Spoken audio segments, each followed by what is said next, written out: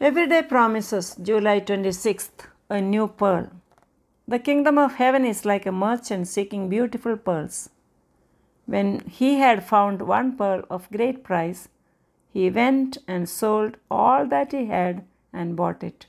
Matthew 13, verses 45 to 46.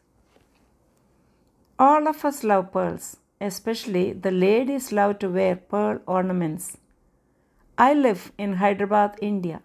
Our city is well known for pearls.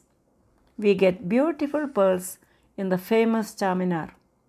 People from all over the country come here to buy pearls. All of us, the teenagers in particular, should go after a new pearl. Let's see what it is. Jesus compares the kingdom of heaven to a priceless pearl. Just look at that merchant. He gave a great price to buy that pearl. And when he saw the worth of it, what did he do? He went and sold all that he had and purchased it. Jesus gave great importance to the kingdom of heaven. He knew the beauty and value of that non perishing kingdom because he himself came from such an indescribable place. That's the reason why Jesus kept on speaking about the kingdom of heaven wherever he went.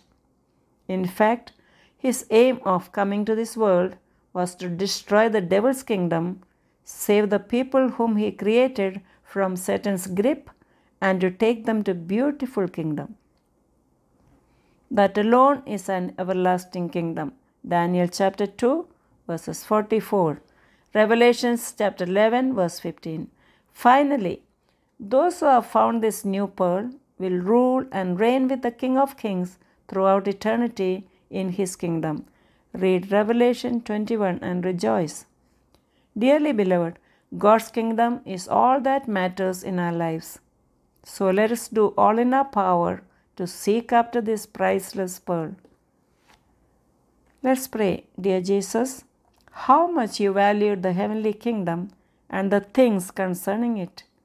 Help me also to seek after God's kingdom so that I will receive a hundredfold in this life and everlasting life in the world to come. I ask this in your holy name. Amen.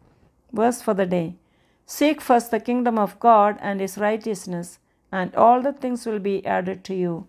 Matthew chapter 6, verse 33. God bless you all. Have a blessed day.